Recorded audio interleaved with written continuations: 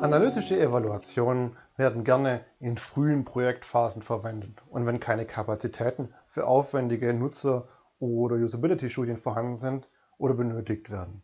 Analytische Evaluationen der HCI unterscheiden sich von empirischen nicht nur darin, dass sie keine objektiven Daten erheben, sondern sie werden auch in bestimmten Verfahren von internen oder externen Gutachtern, den sogenannten Reviewern, Experten in ihrem Feld, durchgeführt.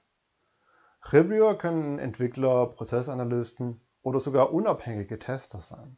Viele Markt- und Usability-Institute setzen sehr erfahrene Experten für analytische Evaluation ein, um Projekte während ihrer Planung zu optimieren. Allen analytischen Bewertungsmethoden haben eins gemeinsam, sie konzentrieren sich nicht nur darauf, den aktuellen Stand der Entwicklung kritisch zu hinterfragen, sondern auch zu bestimmen, wie Design und Implementierung gezielt verbessert werden können. Im Folgenden schauen wir uns den Cognitive Walkthrough an, der besonders in frühen Phasen der Systementwicklung eingesetzt wird. Die Lernziele dieses Blogs sind zu verstehen, wie der Cognitive Walkthrough als analytische Bewertungsmethode fungiert wir wollen versuchen zu verstehen, wann und wie Cognitive Walkthroughs eingesetzt werden können. Wir lernen die Stärken und Schwächen dieser Evaluationsmethode kennen. Der Cognitive Walkthrough ist ein Review- bzw. Gutachtenbasiertes Verfahren. Im Expertengutachten überprüft eine kleine Anzahl von Usability-Experten ein Produkt oder einen Prototypen auf der Grundlage festgelegter Usability-Standards und Richtlinien. Ein Gutachten identifiziert die wichtigsten Usability-Probleme und Verbesserungsmöglichkeiten eines Produkts. Den Expertenevaluationen gemein ist, dass sie nicht nur danach fragen, wie gut oder wie schnell wichtige Aufgaben erledigt werden können, sondern auch, wie man eben die existierenden Prozesse besser macht.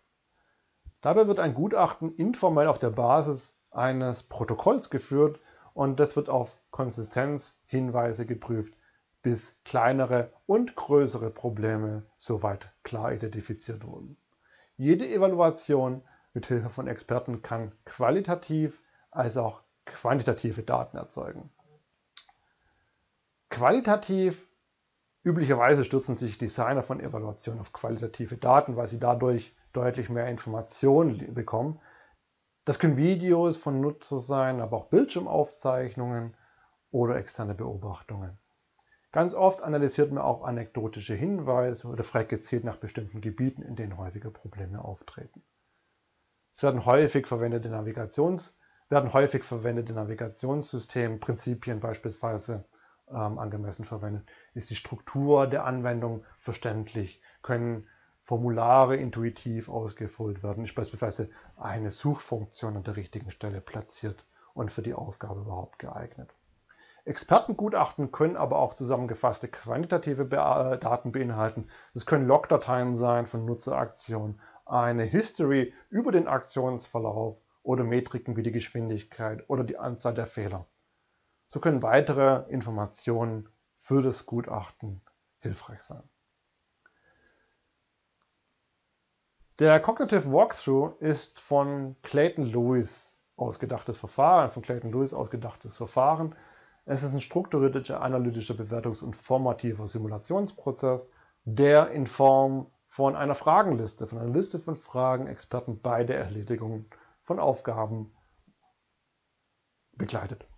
Es handelt sich um eine Liste von Fragen, wobei Clayton klar offen lässt, wie die Fragen aussehen sollen, ähm, denn die hängen klar irgendwie auf dem Projekt ab. Aus diesem Grund muss der Designer oder das Design-Team selbst zunächst die eigenen Aufgaben, die der Experte erlösen sollte, ausführen, die Fragen klar definieren und selbst beantworten können, wobei die Designer die Anwendung in einer Art Komplettlösung vorliegen haben. Und dann werden ein oder mehreren Experten eingeladen, die, die dann in diesem Cognitive Walkthrough durchlaufen. Das Ziel ist es, den Prozess bis zur Problemlösung zu begleiten und die Fragen zu bewerten. Wenn ein Bewerter beispielsweise einen bestimmten Schritt ähm, keine Probleme erwartet, muss er dieses Urteil allerdings auch rechtfertigen. Wenn Probleme erwartet werden, sollten sie beschrieben und entsprechende Verbesserungsmöglichkeiten genannt werden. Der Cognitive Walkthrough ist also vordefiniert, teilweise sehr detailliert ausgearbeitet. Äh, mentaler Durchlauf der besonders in frühen Projektphasen angewendet werden kann, wenn das Projekt noch nicht so groß ist. In frühen Phasen von der Systementwicklung ist es eben möglich, Aufgaben in dem Maß granular zu zerlegen, wie das in einem klassischen Fragenset im Cognitive Walkthrough vorgesehen ist. Was passiert dabei? Am Anfang wird, die, ähm, wird, der, wird festgelegt, was ähm, für, die, für die Experten bereitgestellt wird. Der Basisprozedur besteht aus einer ausführlichen Vorbereitung und der eigentliche Durchlauf Wobei bei der Vorbereitung fragen wir, wer die Benutzer eines Systems sein werden. Sind es hochspezialisierte Arbeiter, Laien einer allgemein genutzten Software? Welche Aufgaben wollen wir die Experten durchgehen lassen? Wie ist die Reihenfolge der Aufgaben? Ist sie korrekt oder wird die spätere Nutzer ganz anders vorgehen? Im eigentlichen Durchlauf fragen sich die Experten dann, werden die Benutzer versuchen, die Aufgabe korrekt durchzuführen? Sind sie in der Lage, den eigentlichen Effekt zu erzielen? Wird der Benutzer feststellen, dass die richtige Aktion irgendwo zu finden ist, wird der Benutzer die richtige Aktion mit dem, mit dem zu erzielenden Effekt überhaupt verknüpfen können. Weiß der Benutzer überhaupt, dass seine Aktion Erfolg hatte? Und wenn die richtige Aktion ausgeführt wird, wird der Benutzer feststellen, dass Fortschritte bei der Lösung überhaupt der Aufgabe erzielt wurden. Jede Aktion oder jeder Schritt, welcher zum Erreichen des Tasks notwendig ist, wird also präzise aufgelistet. Und das Besondere ist, dass das mit einem Fragenprotokoll, jetzt nach Clayton, ähm, auch so gemacht wird, warum eine Aktion erfolgreich war oder warum das Ziel bekannt ist. Diese Methode stellt sozusagen sicher, dass ein Schritt, der für die Experten als selbstverständlich wahrgenommen wird, auch von späteren Nutzern verstanden wird. Ähm, beispielsweise die Positionen für das Expertenprotokoll in einem Cognitive Walkthrough können die Beschreibung des unmittelbaren Ziels des Benutzers sein, das ist meistens so. Dann können die erste oder die nächste atomare Aktion aufgelistet werden, die logische Konsequenz einer vorhergehenden Aktion. Ist die Aktion dann verfügbar? Und jetzt jedes Mal wird gefragt, ist es, warum ist es so oder warum ist es nicht so, wie die Antwort lautet. Ist die Aktion zielgerichtet? Warum, warum nicht? Wie greift der Benutzer auf die Beschreibung der Aktion zu? Gab es Probleme beim Zugreifen? Wie greift der wie, greift, wie wird der Benutzer auf die Beschreibung mit der Aktion verknüpfen? Gibt es ein Problem beim Verknüpfen zwischen Aktion und Beschreibung? Alle anderen, sind alle anderen verfügbaren Aktionen weniger geeignet? Wie führt der Benutzer die Aktion aus? Und wenn eine Zeitüberschreitung beispielsweise auftritt, ein Timeout, im Englischen muss der Benutzer vor der Zeitüberschreitung entscheiden. Wenn die Aktion ausgeführt wird, wie lautet die Systemantwort? Und wie Sie sehen, ist dieses Protokoll extrem genau, recht formal und unmittelbare Reaktionen, wie beispielsweise Emotionen des Nutzers, die werden nicht dokumentiert oder adressiert. Eine Aufgabe in einem Cognitive Walkthrough könnte sein, ähm, laden Sie ein Video hoch auf einer Webseite. Und dann ist natürlich die Frage, wie sehen die einzelnen Aktionen aus? Die erste Aktion könnte sein, klicken Sie oder suchen Sie den Upload-Button. Wenn die erste Frage, die sich hier stellt, ist, ist der sichtbar, ist der verfügbar? Die nächsten zwei, beiden Aktionen ist entweder den Titel oder die Beschreibung für die hoch, hochgeladene Datei einzugeben. Ähm, und bei der Beschreibung wäre beispielsweise die Frage, ob das überhaupt notwendig ist.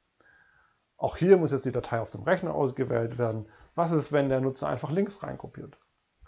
Dann muss es einen sichtbaren Start-Upload-Button geben, der muss sichtbar sein oder ähm, disabled, solange keine Eingaben möglich sind, also kein Hochladen möglich ist und aktiviert werden können, geklickt werden können, sobald es der Fall ist. Und Sie sehen, das sind schon recht granulare Eigenschaften, die so ein Cognitive Workflow liefert. Was passiert, wenn die Datei hochgeladen wird? Gibt es dazu ein Feedback.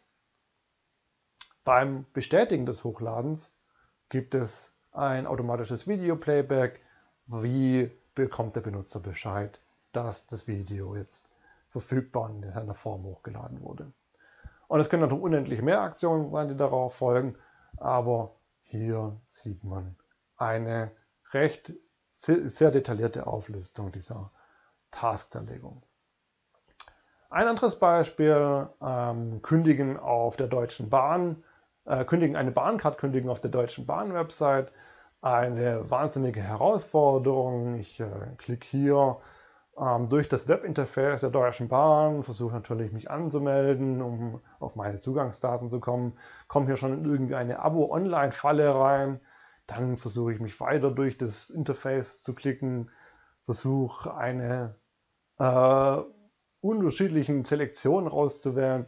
Und Interessanterweise war die eigentliche Option an einer völlig anderen Stelle zu finden, nämlich auf der Webseite unter Bahncard und Services verwalten. Und hier gäbe es äh, tatsächlich ein Kündigungsformular. Das Beispiel zeigt ganz deutlich, dass wie ein kognitives Walkthrough auf einer Webseite mit einem bestimmten Task aussehen kann. Sie lassen ähm, relativ viele Möglichkeiten zu und je nachdem, wie viele Möglichkeiten entstanden sind, muss dokumentiert werden, was alles schiefgegangen ist. Trotzdem hilft der Cognitive Walkthrough bei solchen Fragen ganz klar in frühen Entwicklungsphasen wichtige Fehler zu vermeiden und die Vorteile sind, dass er schnell und einfach durchgeführt werden kann. Offensichtliche Fehler macht er ziemlich schnell sichtbar. Es gibt aber auch einige Nachteile.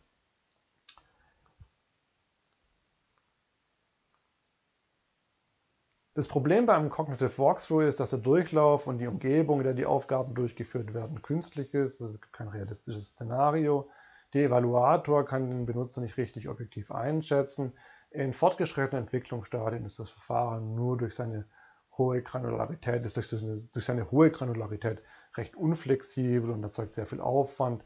Es können nicht alle Probleme aufgedeckt werden.